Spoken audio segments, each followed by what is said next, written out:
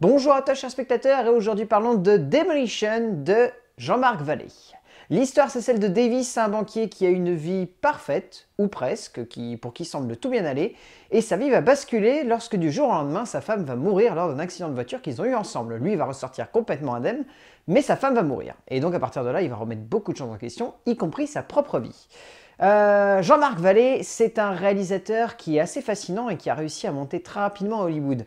Euh, à la base, donc, c'est le réalisateur donc, de Crazy, un film assez emblématique de la pop culture québécoise parce que c'est un des premiers films à avoir réussi à faire voir à la face du monde et à avoir rencontré un succès phénoménal euh, la place de l'homosexualité dans la jeunesse.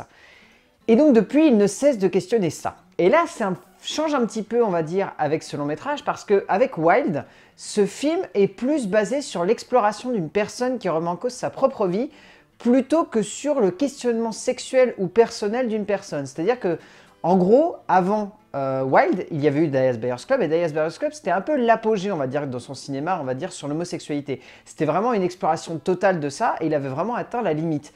Là, depuis, il essaye de plutôt questionner l'être humain dans une situation qui va l'amener à devoir totalement se renouveler.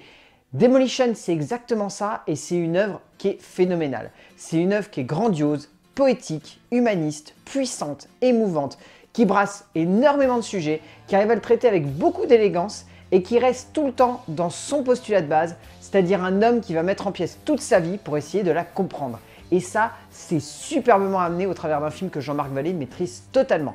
Il le maîtrise totalement parce que déjà au niveau de l'écriture, le scénario qu'a signé Brian Sipe est vraiment parfait. Il a la justesse d'esprit de mener à la fois euh, une première lecture que l'on peut voir sur simplement un homme qui va questionner son existence et on peut également derrière voir un homme qui va questionner le fonctionnement de l'émotion humaine.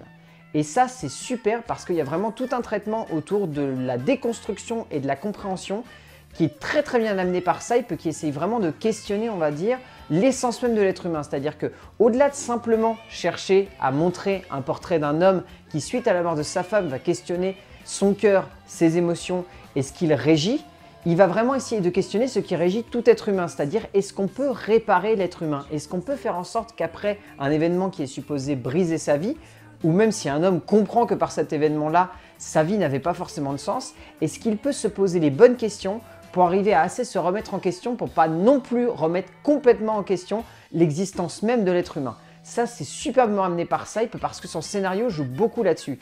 Il a vraiment réussi, Saip, à comprendre le cinéma de Jean-Marc Vallée parce qu'il arrive à maîtriser également beaucoup de personnages. Le film, on va dire, a trois personnages principaux, dont un un petit peu plus que les autres. Et ensuite, il a une panoplie de personnages secondaires qui sont très intéressants. Euh, il y a plein de personnages qui amènent, genre par exemple, il y a le mari de la, de, la personne avec qui... Euh, il y a le mari de Karen qui va, accompagner, euh, qui va accompagner Davis tout au long de son chemin. le mari de Karen, voilà, c'est un personnage assez secondaire.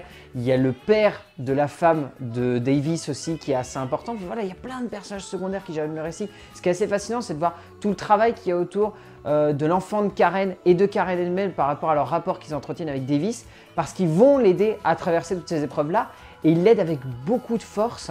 Et c'est très très bien amené et c'est tout le temps dans cette compréhension-là que Jean-Marc Vallée arrive à cerner ses personnages. Et ça, il a vraiment réussi à capter ça en amenant ces personnages-là au cœur de l'univers de Jean-Marc Vallée. Parce que Jean-Marc Vallée, au niveau de sa mise en scène, c'est un mec qui a une ambition démesurée. Chacun de ses films est esthétiquement très stable et pourtant, il est aussi pété que les personnages qu'il dépeint.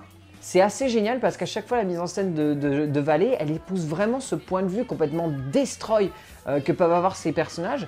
Et pourtant, tout est toujours logique, tout est cohérent. Un plan qui va être jeté à un moment va finalement avoir un écho. C'est-à-dire que c'est assez génial. Par exemple, pour vous donner un idée, l'ouverture est très simple, très posée, très suave.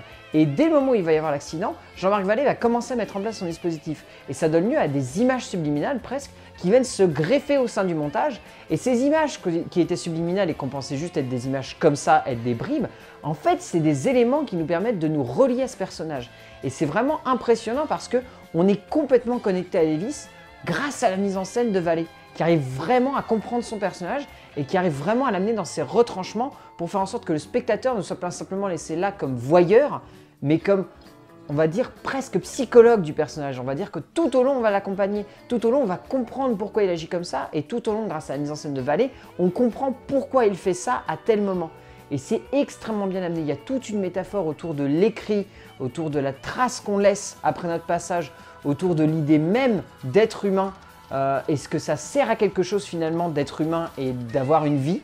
C'est très très bien amené par Vallée qui questionne vraiment le spectateur et qui questionne au-delà de ça l'être humain avec beaucoup de force, beaucoup de subtilité, beaucoup d'élégance et beaucoup de grâce. C'est également le cas parce qu'il est entouré d'un casting absolument phénoménal. Au niveau du casting, forcément, on retient Jake Gyllenhaal. Même si tout de même, il y a d'autres acteurs derrière. Il y a Chris Cooper qui est vraiment excellent dans le rôle du beau-père, qui est vraiment génial. Le jeune Judah Lewis divin dans le rôle de Chris. Il est divin, juste parfait cet acteur-là. Il va aller très très loin. C'est son premier long métrage, mais quelle première performance, c'est juste dingue. Naomi Watts, excellente. Rien à en dire, Naomi Watts, est toujours géniale. Mais celui qui explose, c'est Jake Gyllenhaal. Ce qui est génial avec Jean-Marc Vallée, c'est qu'à chaque fois, dans chacun de ses films, il y a tout le temps un acteur qui arrive à être révélé de manière puissante et profonde. Et là, c'est le cas de Jake Gyllenhaal. C'était le cas de Reese Witherspoon, c'était le cas de Matthew McConaughey, c'était le cas de, tous les acteurs qui ont traversé le cinéma de Jean-Marc Vallée. Là, c'est hallucinant. Jake Gyllenhaal, il est parfait, il est impérial, il est divin tout au long du film. Donc voilà, pour faire simple, euh, Demolition, c'est un film à voir. C'est une tuerie. C'est visuellement abouti. C'est narrativement excellent. Ça a des personnages qui sont ultra impressionnants. C'est très, très, très, très, très, très bien écrit. C'est très, très, très, très bien mis en scène. Et c'est superbement joué par Jake Gyllenhaal. Donc, pour faire simple, foncez voir Demolition de Jean-Marc Vallée. C'est une tuerie. C'est un film immanquable du mois d'avril. C'est à voir absolument en salle. A plus